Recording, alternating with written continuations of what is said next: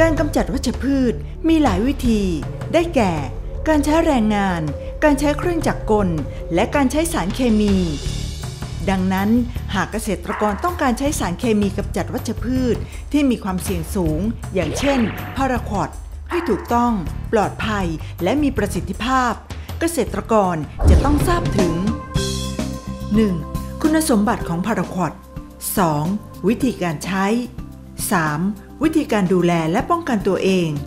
เพราะพาราควอดจัดเป็นสารกำจัดวัชพืชที่ไม่เลือกทำลาย ซึ่งมีกลไกเข้าไปทำลายพืช โดยเข้าไปยับยั้งกระบวนการสังเคราะห์แสงในเซลล์พืชทำให้เกิดอนุมูลอิสระของออกซิเจน แล้วเข้าไปทำลายเนื้อเยื่อของพืชอย่างรวดเร็วทำให้เซลล์พืชแตก และสูญเสียน้ำจนพืชแห้งตายภายใน 1-2 วัน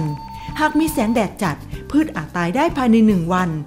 อีกทั้งพาราควอดยังมีคุณสมบัติ ที่จะไม่เคลื่อนย้ายในต้นพืช หากฉีดพ่นตรงไหนก็จะตายตรงนั้น เกษตรกรจึงควรฉีดพ่นให้ทั่วถึง หากฉีดพ่นไม่ทั่วถึง วัชพืชก็จะแตกต้นใหม่ได้อย่างรวดเร็ว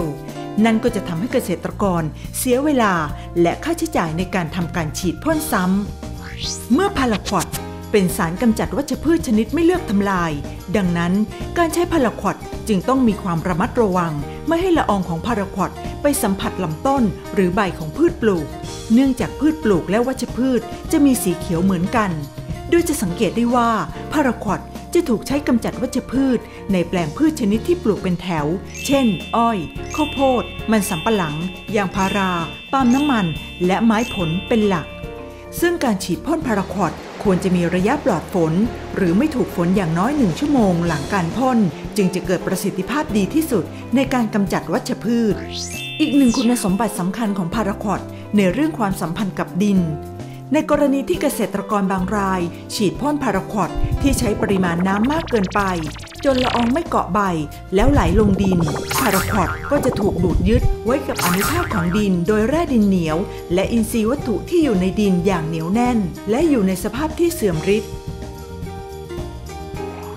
ในการที่จะแยกสารพาราควอดออกจากการดูดยึดของดิน ต้องนำดินไปต้มในกรดกรรมฐานที่มีความเข้มข้น 6 นอร์มอล นานถึง 5 ชั่วโมง ดังนั้นในสภาพธรรมชาติจึงเป็นไปไม่ได้ที่พาราควอดจะหลุดออกมาจากอนุภาคของดิน อีกทั้งในความเป็นจริง พาราควอดมีคาร์บอนเป็นองค์ประกอบ หากตกลงสู่ดินก็จะถูกจุลินทรีย์หลายชนิดที่อยู่ในดินย่อยสลาย การใช้พาราควอดอย่างถูกวิธีและมีประสิทธิภาพ 1. ควรผสมพาราควอดตามอัตราส่วนที่ทางกรมวิชาการเกษตรแนะนำ 2. ควรใช้หัวพ่นที่เหมาะสมกับพาราควอดคือ หัวพ่นแบบปะทะ หรือหัวพ่นแบบผ่า เพราะจะทำให้ละอองที่พ่นออกมา เป็นแนวระนาบแบบพัดทำให้สามารถกำจัดวัชพืชได้อย่างทั่วถึง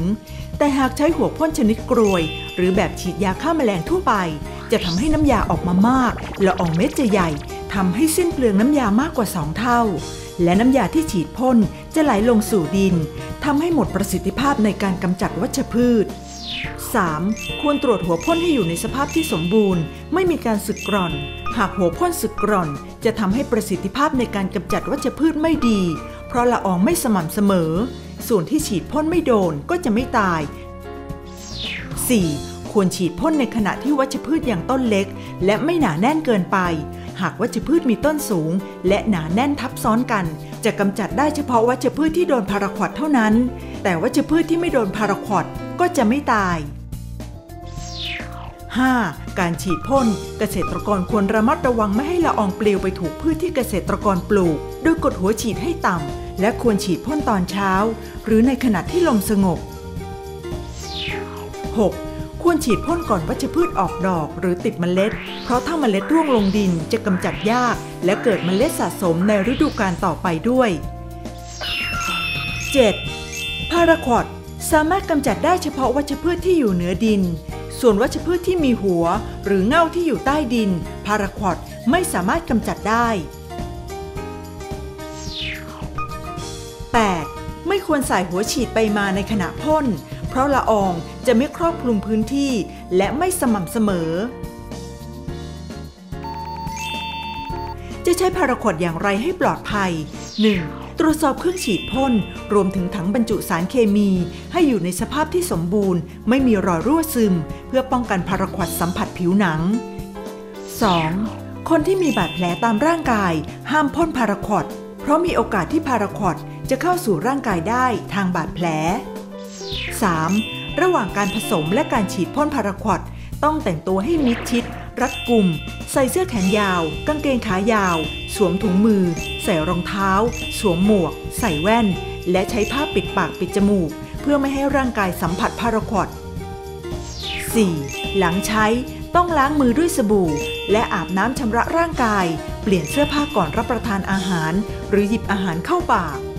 5. แยกซักเสื้อผ้าที่ใช้สวมใส่ในการฉีดพ่นให้สะอาด เพียงเท่านี้เราก็สามารถใช้สารกำจัดวัชพืชพาราควอดได้อย่างถูกต้อง และมีประสิทธิภาพ อยู่บนพื้นฐานของความปลอดภัย ก่อให้เกิดประโยชน์สูงสุดแก่เกษตรกร ผู้บริโภค และสิ่งแวดล้อมอย่างยั่งยืน